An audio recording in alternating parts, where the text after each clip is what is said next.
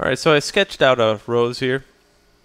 And I know what direction I want to take you guys to because uh, the next few ones are going to be uh, something a little different that I kind of do is print these out and then I'm going to be taking the printout itself and uh, penciling it. Okay, so what I'm doing here is I'm concepting this rose into the scene, but I want to make sure it flows nice with the rest of it. Instead of two static articles, I want two very, very flowing articles.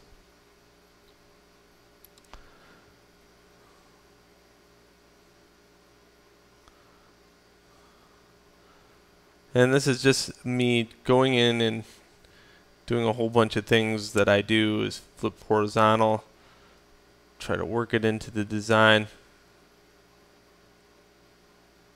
I, I put a stem out there instead of the vine. I might still use the vine to uh, bring it all together, but for right now, you know, I just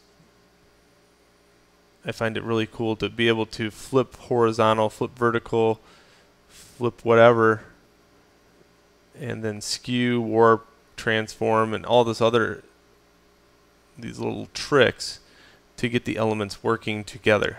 Something you can't do with traditional art.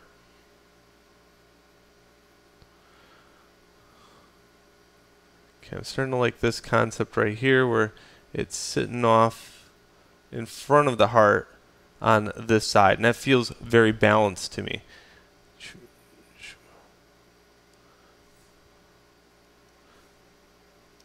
Okay, so what I'll do is make this part of this group and then go into this group, find out what element that threw it down at because once you throw it into this group, you're at the mercy of where it places it.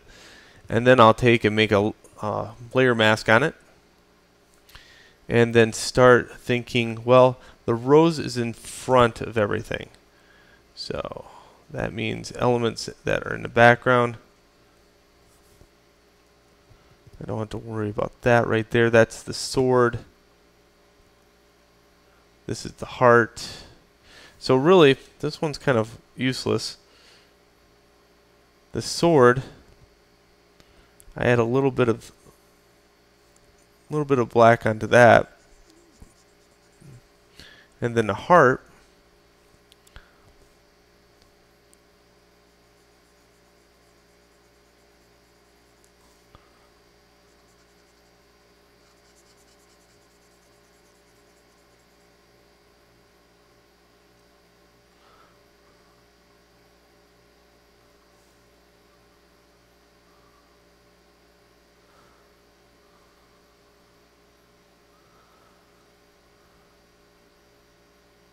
Yeah, that's really nice. I like that. Okay, if I wanted to move like the whole sword around, which I kind of do, I want to move this entire sword around, and I got these elements that are added into it. See, I got these elements right here, and then I have the sword here. Those are kind of group groups. So I can layer group layers within a group. And then I can move those around.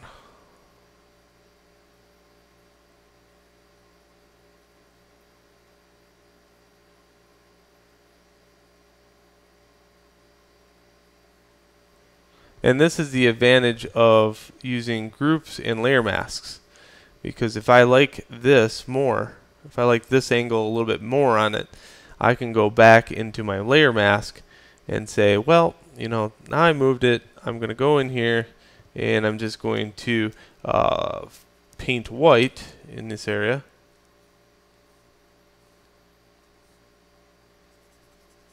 And suddenly my line appears. And then X on the keyboard's black, so I can switch between black and white. Okay, white.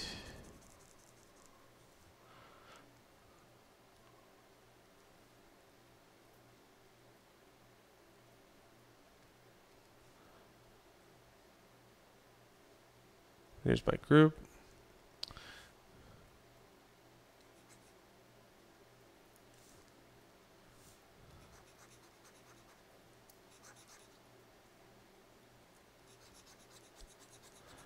So there we go. That's some little tricks here and there to really come up with a cool concept. Of course, you know, I'm going to end up I'm going to end up printing this and I'm going to end up tracing it by hand.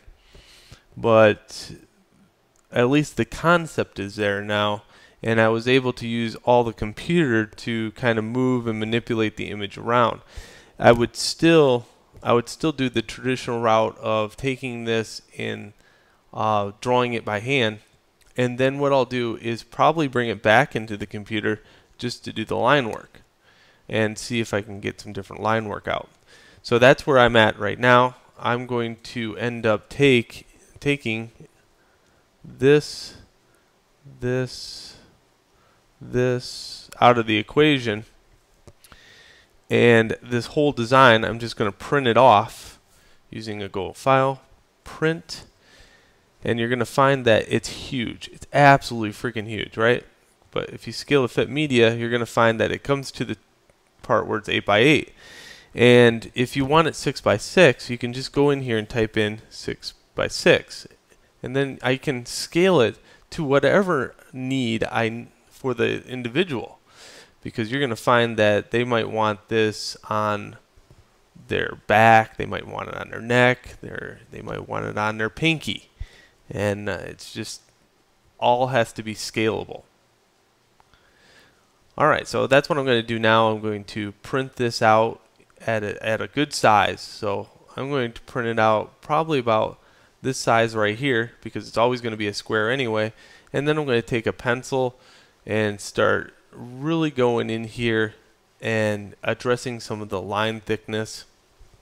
This is something that I can't show on the video because I don't have a camcorder or anything. But uh, I'll bring it back and then scan it back in and show you what I have. I usually I usually use Cougar 100 pound press for every all my drawings. It's a very smooth tooth uh, type of paper and it really holds up well later on down the road when I want to re-access it. It's you could practically do anything you want to that paper. It's just so thick and rugged. It's for cover. Okay, so Cougar 100 pound cover is like smooth, awesome to blend, the most amazing paper that you'll ever draw on. Alright, so on to the next video.